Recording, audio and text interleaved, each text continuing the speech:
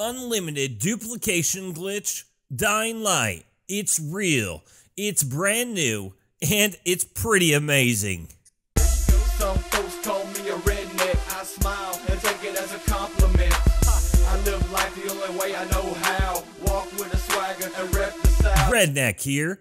I have an easy but not so easy duplication glitch. This glitch is very easy once you get the routine down, so patience is key with this glitch. And with this glitch, you can fill an entire room full of gold weapons in a matter of seconds. Actually, if you've got a strong internet connection, you can fill a room with pretty much anything.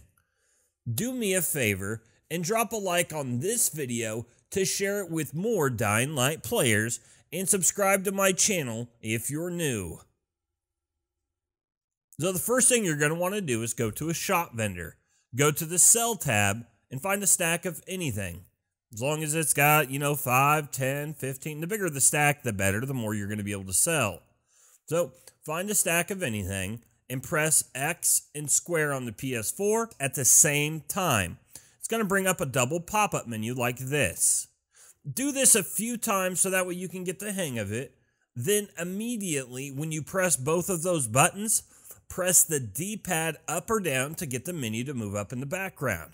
And when I say D pad, I'm talking about the black bar touchpad that's touch sensitive on the PS4 controller. Not the actual D pad, the left, up, down, right. Not that one. It's the black bar that's on your PS4 controller that's touch sensitive. Make sure you have valuables like a pouch or jewel casket in your inventory. Now sell whatever you want and buy it back. It's that simple. Now you can use this glitch to get loads of gear and Dying Light quickly. Like I said, patience is key with this glitch. So if you're around and you've tried this for a few minutes and you haven't had any luck, just stick with it. Because as you can see here, I personally had a lot of problems with this until I got it down pat. So make sure you have some patience and just wait for the sweet spot. Once you realize what you're doing wrong and how you can get it done quickly, go at it like a champ and get those gold weapons on the ground. Like this video even if you're having a problem with the timing, as I'm going to be holding live drop parties to help out as many as possible.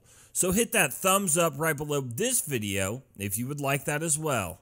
Don't forget to comment below if you needed this glitch to get you some gear, because I love helping you guys out in Dying Light. And subscribe if you're new for my daily Dying Light videos. Until next time, I'm Redneck. Follow me on Twitter at Redneck Ordinary. Peace.